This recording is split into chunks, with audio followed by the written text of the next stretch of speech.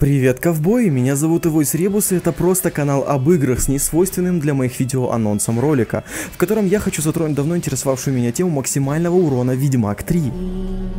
He'll chop old ones like cut and dice. You.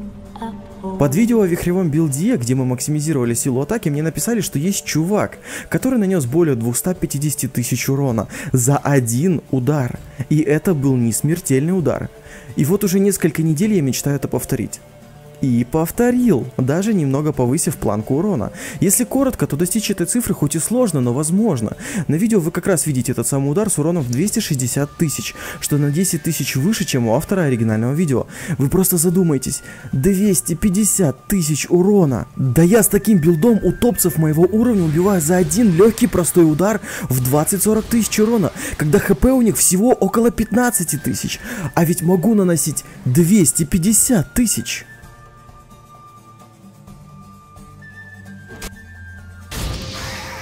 В видео забугарный чувак на непонятном языке рассказывает о билде и возможности нанести более 250 тысяч урона. Меня не особо интересовала часть построения билда, я и так знал, как максимизировать урон. Мне был важен сам факт. Он нанес чуть больше 250 тысяч. Я при повторении на 10 тысяч больше.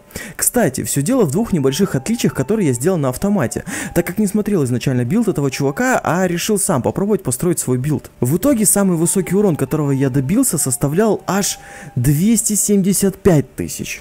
То есть на 25 тысяч больше. Но это случилось так неожиданно, что я забыл включить запись. До конца недели я потестирую все возможные варианты этого билда с разными сетами, разным оружием, разными отварами и оформлю видеоотчет этого теста. Если у вас есть идеи, как усилить урон еще, готовый билд или уже проверенные фишки для нечитерского баганого увеличения урона, то напишите об этом в комментариях. Я все потестирую, проверю и расскажу, сработало или нет. Э, Кстати, о хороших новостях. У меня уже записан лучший билд на Игни, осталось его домонтировать. Думаю, к среде четвергу я успею его опубликовать.